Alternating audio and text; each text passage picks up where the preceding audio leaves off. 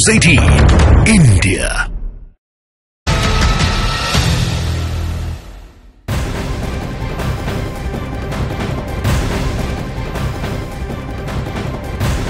नमस्कार, आपके साथ मैं हूँ सबीना तामंग देशमुख देश और दुनिया की हर बड़ी ज़रूरी खबर पर अपडेट के लिए हम हाजिर हैं नमस्कार, मैं हूँ आपके साथ सपना शुक्ला। इस वक्त पूरे देश में चर्चा सिर्फ़ और सिर्फ़ नीतीश कुमार की हो रही है, क्योंकि नीतीश कुमार एक बार फिर से पलटते हुए दिखाई दे रहे हैं। इससे पहले कई बार उन्होंने पलटी मारी, लेकिन एक बार फिर से उनकी तरफ़ से पलटी मारी जा सकती लेकिन तारे कन्वर कांग्रेस के नेता है और कह रहे हैं कि ऐसा पहले भी कर चुके हैं, अगर फिर किया तो जनता विश्वास नहीं करेगी। तो बिहार में ये सियासी घमासान मचा हुआ है। इस पर कांग्रेस नेता तारिक अनवर का बयान सामने आया है। दरअसल उन्होंने कहा कि नीतीश कुमार पहले ही कई बार पाला बदल चुके हैं, फिर बदला तो जनता उन पर भरोसा नहीं करेगी। अगर नीतीश गए तो ये गठबंधन के लिए एक झटका होगा और झटका इसलिए होगा क्योंकि वो नीतीश कुमार ही थे कि कैसे सभी पार्टियों को एक साथ लेकर आ रहे हैं। बिहार में सबसे पहले गठबंधन की बैठक हुई तो नीतीश कुमार थे सबसे, सबके केंद्र में। फिर उसके बाद एक और बैठक होती है, नीतीश कुमार उसके केंद्र में होते लेकिन नीतीश कुमार ही अब पाला बदल रहे हैं। पहले ही दो बार वो पाला बदल चुके हैं। अब अगर तीसरी बार वो पाला बदलेंगे तो बिहार की जनता की नज़र में जो उनका एक एक छवि है, वो ख़त्म हो जाएगी। और लोग फिर उनको उन पर विश्वास नहीं करें। इंडिया गठबंधन में और भी तमाम पार्टियाँ हैं और वो सब मिलकर ऐसा अगर स्थिति पैदा होगी, उत्पन्न होगी तो उसका सामना करेंगे, क्योंकि हम एक पॉलिटिकल पार्टी है। हर पॉलिटिकल पार्टी हर स्थिति का जो जो चुनौती जो भी आएगी, उसका सामना करते, करेगी।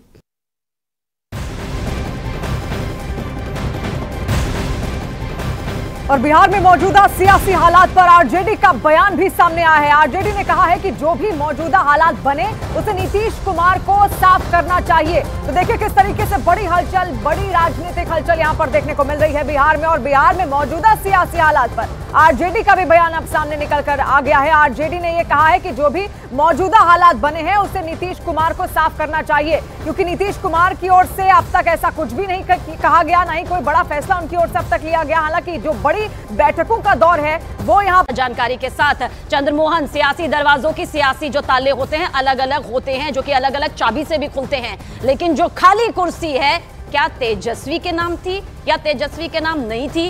इस सियासी कुर्सी के क्या मायने? बिल्कुल, देखिए, जो राजभवन में अभी हाईटी का कार्यक्रम है ये अमूमन यादव नहीं दिखाई दे रहे हैं। आमतौर पर तेजस्वी यादव को आना चाहिए, क्योंकि जो भी डिप्टी सीएम रहता है, वो आता है और जो नीतीश कुमार के ठीक बगल में अशोक चौधरी जहाँ बैठे हैं, वहाँ उनकी कुर्सी थी, जहाँ पर वहाँ उनको बैठना था। लेकिन तेजस्वी यादव नहीं यहाँ पर पहुँचे तो उस जगह पर अशोक चौधरी आकर बैठ गए और ठीक उसके बगल में विजय सिन्हा, जो नेता प्रतिपक्ष अभी अभी मौजूदा हालात में हैं, उनको बैठाया गया है और बीजेपी के तमाम जो विधायक हैं, नेता हैं, वो यहाँ पर दिख रहे हैं। तो साफ़ तौर पर समझा जा सकता है कि बिहार की राजनीति किस ओर करवट ले रही है, क्योंकि साफ़ तौर पर जो तस्वीरें अभी राजभवन में दिखाई दे रही हैं, यह बता रहा है कि आने वाले दिनों में बिहार में किस करवट राजनीति अभी लेने वाला है, क्योंकि अभी जो बीजेपी के तमाम विधायक हैं, वो यहाँ पर पहुँचे हैं। कांग्रेस के कोई अभी नेता यहाँ पर नज़र नहीं आए हैं और आरजेडी के अब तक नेता यहाँ पर कोई भी नज़र नहीं आ रहे हैं। एक चीज़ और, नीतीश कुमार का होना ये दिखाता है कि वो कहीं ना कहीं आश्वस्त है, क्योंकि उनको पता है उनके बिना ना इधर सरकार बनेगी, ना उधर सरकार बनेगी। लेकिन आरजेडी में खलबली है, तभी शायद तेजस्वी यहाँ नहीं है।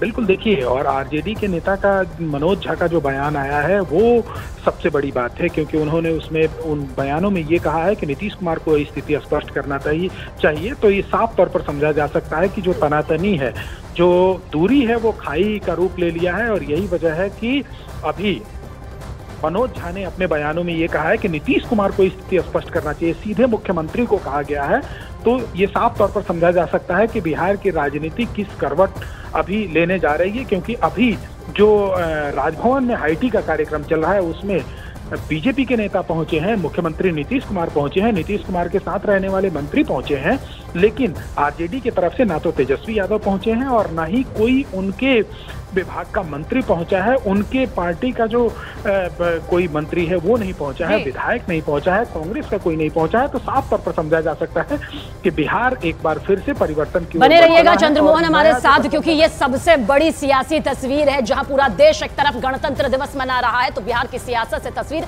बिल्कुल उसके उलट नज़र आ रही है। गणतंत्र दिवस ज़रूर मनाया जा रहा है लेकिन ज़ाहिर सी बात है जो सियासी तूफ़ान भूचाल मचा हुआ है वो अगले भविष्य की तस्वीर को तैयार करता दिखाई देता है।